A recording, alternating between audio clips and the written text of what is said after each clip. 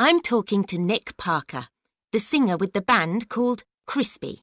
Nick, your sister Mel plays guitar in the band too, doesn't she? Yeah, Mel's a year younger than me.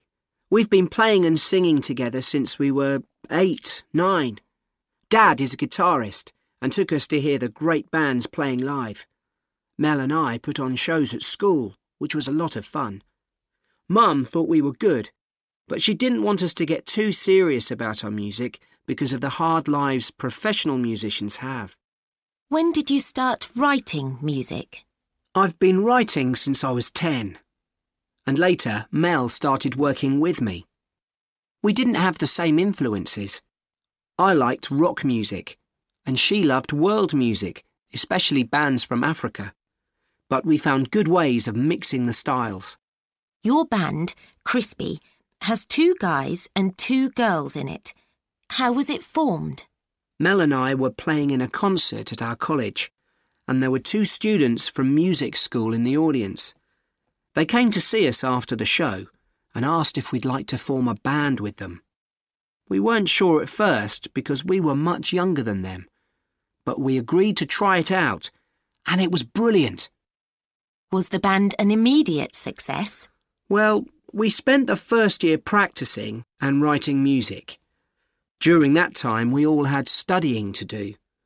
We played in local concerts, and the audiences enjoyed what we did. Then, during one holiday, we recorded two songs and sent them to a music company. They offered us a contract, but our parents said we had to finish college first. You've been together a few years now, and you're one of the top bands. What's that like? Hard work. We travel to concerts all round the world and are never in one place for more than a few nights. The others are like an older brother and sister to me and Mel, which is good. They help us relax on our days off and make sure we eat well. They're strict about practicing too. Have you had any disappointments? Everything we've recorded has done well. Three singles have gone to number one, and our first album has sold over a million copies. Our second album was due out this winter, but I've been ill recently, so we've started recording late, which is a pity. But for the rest, everything's fine.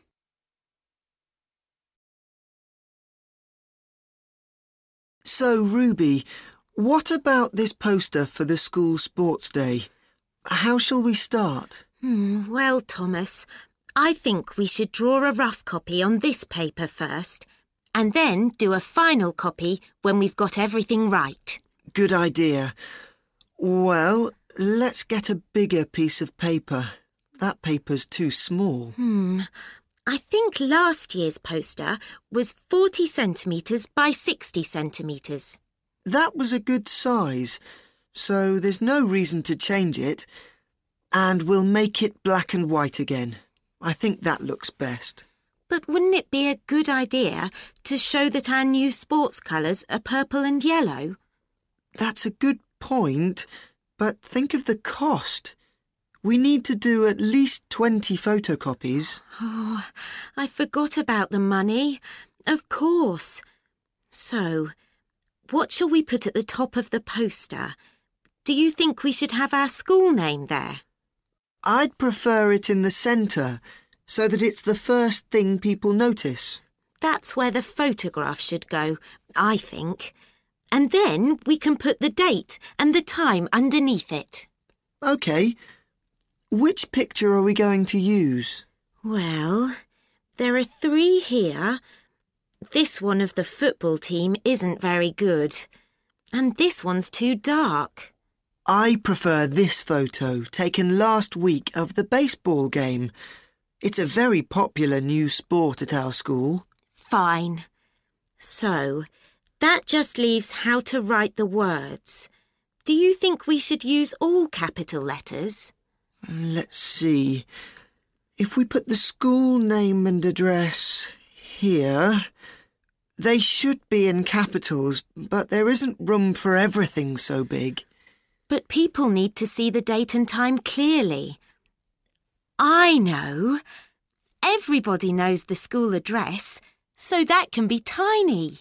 OK, let's try it that way. I think it's going to be a really good poster.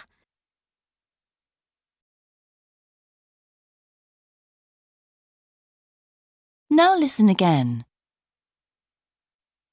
I'm talking to Nick Parker, the singer with the band called Crispy. Nick, your sister Mel plays guitar in the band too, doesn't she? Yeah, Mel's a year younger than me. We've been playing and singing together since we were eight, nine. Dad is a guitarist and took us to hear the great bands playing live. Mel and I put on shows at school, which was a lot of fun. Mum thought we were good, but she didn't want us to get too serious about our music because of the hard lives professional musicians have. When did you start writing music? I've been writing since I was 10. And later, Mel started working with me. We didn't have the same influences. I liked rock music, and she loved world music, especially bands from Africa. But we found good ways of mixing the styles. Your band, Crispy, has two guys and two girls in it. How was it formed? Mel and I were playing in a concert at our college, and there were two students from music school in the audience. They came to see us after the show and asked if we'd like to form a band with them.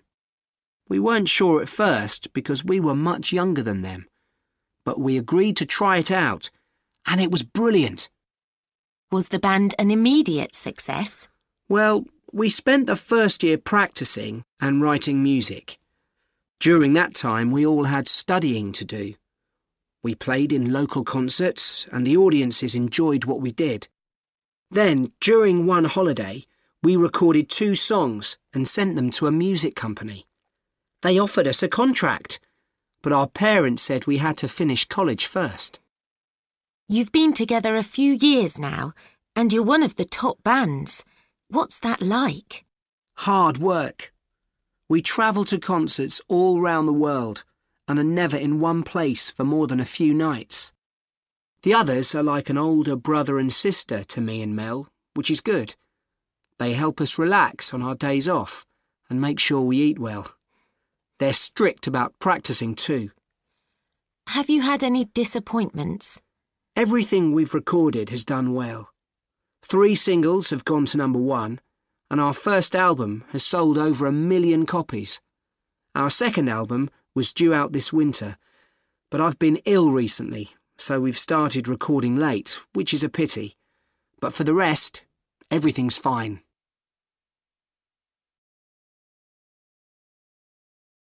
So, Ruby, what about this poster for the school sports day? How shall we start? Hmm, well, Thomas, I think we should draw a rough copy on this paper first, and then do a final copy when we've got everything right. Good idea. Well, let's get a bigger piece of paper. That paper's too small. Hmm. I think last year's poster was 40 centimetres by 60 centimetres. That was a good size, so there's no reason to change it. And we'll make it black and white again. I think that looks best. But wouldn't it be a good idea to show that our new sports colours are purple and yellow? That's a good point, but think of the cost. We need to do at least 20 photocopies. Oh, I forgot about the money. Of course. So, what shall we put at the top of the poster? Do you think we should have our school name there? I'd prefer it in the centre, so that it's the first thing people notice.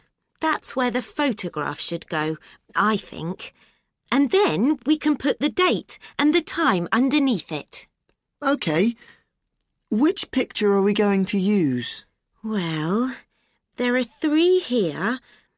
This one of the football team isn't very good. And this one's too dark. I prefer this photo taken last week of the baseball game. It's a very popular new sport at our school. Fine. So, that just leaves how to write the words. Do you think we should use all capital letters? Let's see. If we put the school name and address here, They should be in capitals, but there isn't room for everything so big. But people need to see the date and time clearly. I know.